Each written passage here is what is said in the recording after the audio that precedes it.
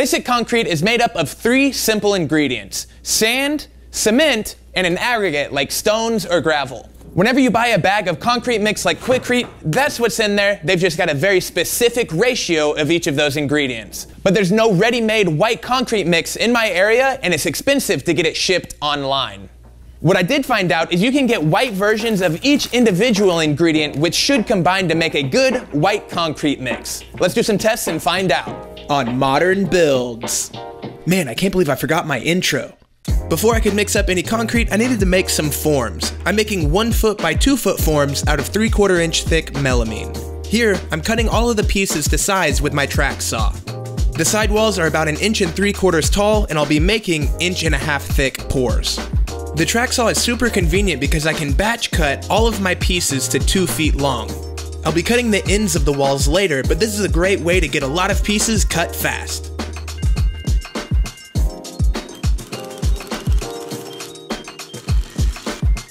After installing my two side walls, I could mark and cut my end pieces to length on the table saw.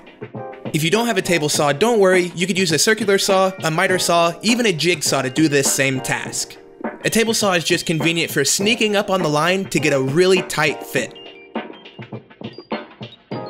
I chose to use pocket screws to attach my sidewalls to the rest of the melamine form. This is a quick and easy way to assemble everything, but totally not necessary.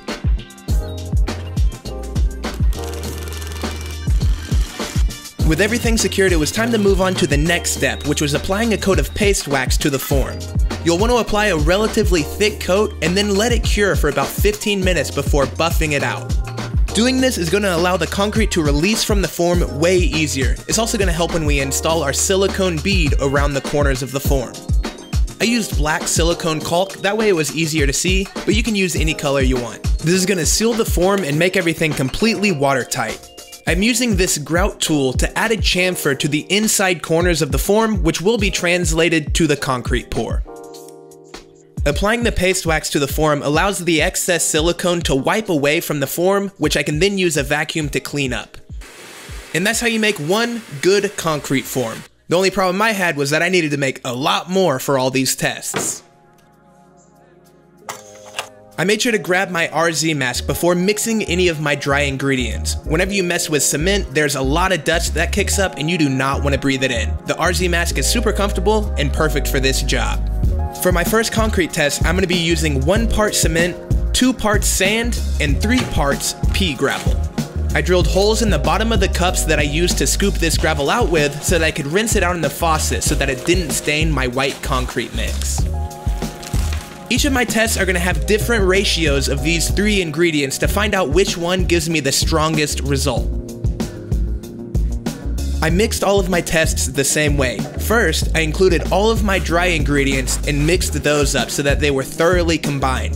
Then, I added my rocks and mixed one more time before adding any of the water. And to make sure I filled my forms, I did a double batch of all of my ingredients. Whenever you're mixing up a batch of concrete, you want to add your water slowly, that way you don't accidentally add too much. The consistency that you're going for is like super chunky peanut butter. You obviously want it to be liquid enough that it'll fill all the corners of your form, but solid enough to stay packed together.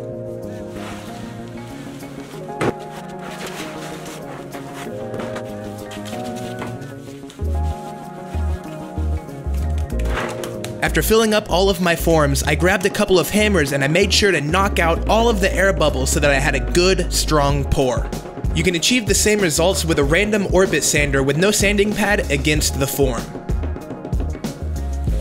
I figured since I was doing all of these tests, I should have some sort of a control, so I did one pour with original Quikrete out of the bag. I did my best to mix this to the same consistency, but I did make the mistake of overfilling my form compared to the rest of the pours. This gave me a thicker slab, which ended up adding strength to it.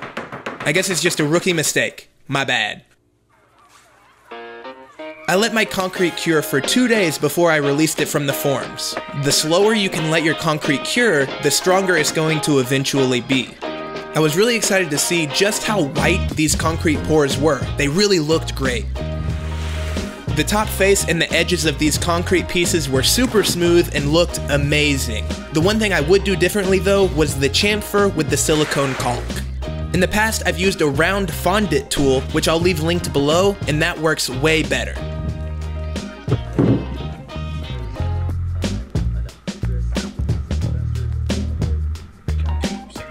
Really quickly, I'd like to give a big thanks to this video's sponsor, Squarespace. Do you need a website? Did you know you could build it yourself? Well, with Squarespace you can, and you need zero website building experience. I promise. Squarespace's library of built-in designer templates look incredible right out of the box. All you need to be able to do is upload images and edit text, and you're well on your way to an amazing website. But Squarespace isn't just easy to use. You can create an incredibly robust website using their service as well. Whatever you need a website for, Squarespace has got your back, and they're willing to prove it too. If you go to squarespace.com forward slash modern builds, you can build out an entire Squarespace website without putting in any of your credit card info. Then, once it's time to sign up, make sure and use the code Modern Builds at checkout for 10% off your first site. Thanks again, now back to the video. Here, I'm lining up all of my concrete pieces so that I can get a hammer and knock them in half. I was really curious to see the distribution of the aggregate once I could see a cross section of each of these pieces. I was happy to see the concrete wasn't super brittle, except for this third test. That one broke a lot easier. You can see I had to hit the Quikrete piece a little bit harder, but I think it's just that added thickness to the slab. I was really excited to see how awesome this ended up looking. Now my plan wasn't initially to use this pea gravel, my Home Depot just didn't have a white aggregate available. But now it's got me wanting to do some sort of live edge concrete river table using the pea gravel. So I can agree with you, hitting the concrete slabs with a hammer is not a very accurate test, so I wanted to do something that was a little bit more measurable. I fully expected to stack some weight on these concrete slabs to see them break in half, then I could measure how much weight it took. But to my surprise, this concrete was way stronger than expected. It supported my whole weight with no problem. All right, so if this concrete can hold up to 90 pounds plus my 180 pounds, we're just gonna quit testing it and call it strong. That'll just be our new baseline. Now, I probably don't need to say this, but don't try this at home. I know standing on a stack of weights, being balanced on a concrete slab that's balanced on a couple pieces of scrap melamine isn't very safe, but hey, I'm not a scientist and I'm doing my best with these experiments. After curb stomping my Quikrete pour, it was time to test the batches that I made from scratch, and I was really happy to see that they supported the weight plates with no problems. The first concrete test piece performed better than I expected. It handled my weight plus the weight of the plates with no problem. It wasn't until I started trying to bounce on the concrete that it finally gave way.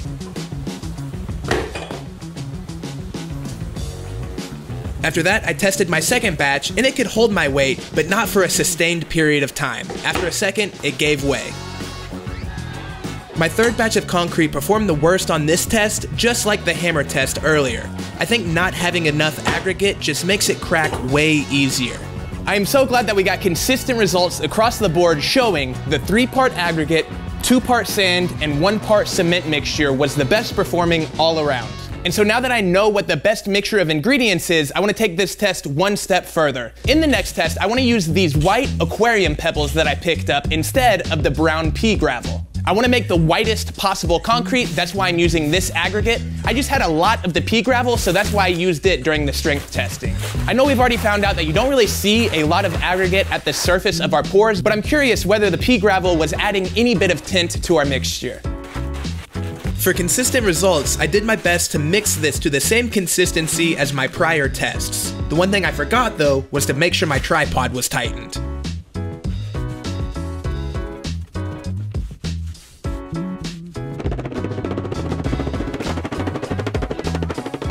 The second test I'm gonna be performing is using this concrete bonding adhesive instead of water in our mixture. This is a liquid fortifier and it was suggested by my friend Mike Clifford from the channel Industrial Maker, who I've collabed with in the past. He's a little bit of an expert when it comes to concrete and GFRC, so I wanna take his advice whenever I can get it.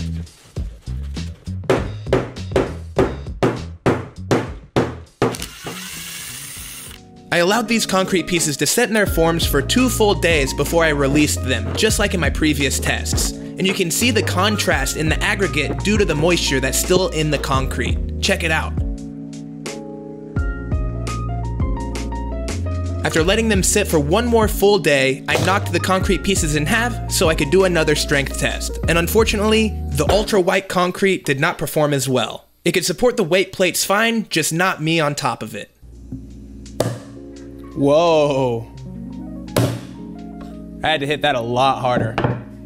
The good news, though, is that the concrete I made with the liquid fortifier was the strongest of all. Not only could I stand on it with the weights, but it didn't break until I basically jumped on it.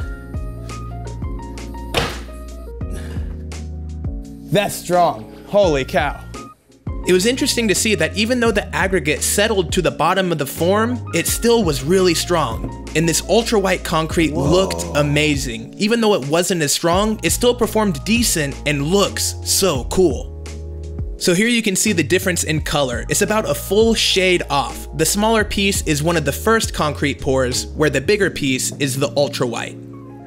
All right, so this video has been a ton of fun, but what did we learn? Well, we learned that the best solid mix is three parts gravel, two parts sand, and one part cement. If you want a solid all around mix, that's my recommendation. If you're doing something where you need a little bit of extra strength, the concrete fortifier definitely made a noticeable improvement, but I would say it's probably not necessary, especially if you reinforce your concrete either with rebar or fiberglass. One last thing that I would note is that the white aquarium rocks did not perform as strong as the pea gravel, and I think that's just because the rocks themselves were a little bit brittle. I guess at the end of the day, there's just a little bit of a trade-off. You get a slightly wider end result, but you sacrifice on strength just a little bit. Maybe just add some concrete fortifier.